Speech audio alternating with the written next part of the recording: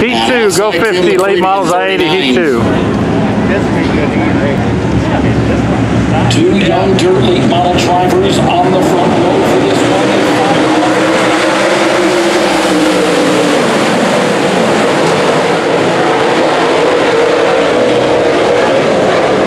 Thought Chris Ferguson might have gotten the jump at the line ever so slightly over Ricky Thornton Jr., so we'll try this one more time.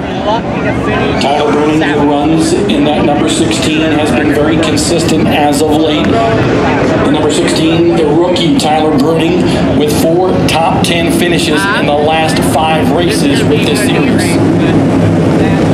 Again, Ricky Thornton Jr., the SSI number also this he's never raced here before, even though those in Adel, Iowa, about an hour and 45 minutes from just west of Des Moines. Chris Ferguson, one of the All Nationals, first Lucas Oil win since he won at Fayetteville, North Carolina a few years back. The 15th different driver to win a Lucas Oil Late Model Dirt Series race here in 2020 modified hot shot over the last couple of years. Ricky Thornton Jr. and Chris Ferguson, Diamond Nationals winner, going to lead the field to the green flag. They will fire at the stripe and rocket into turn number one.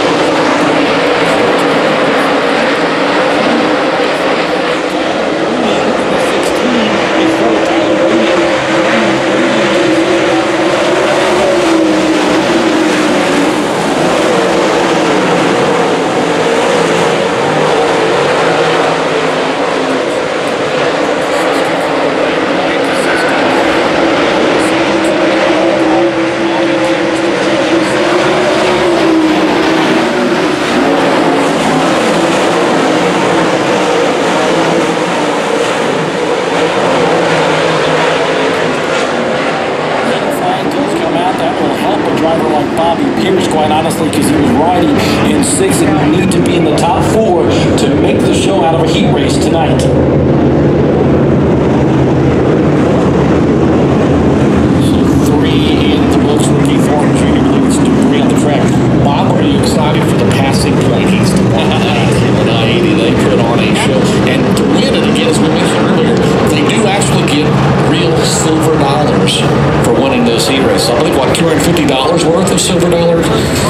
Something like that, yeah.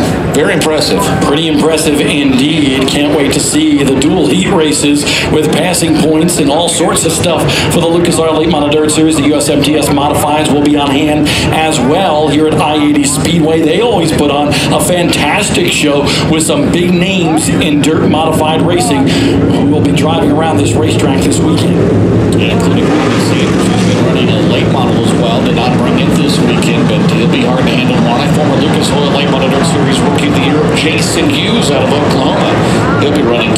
With the.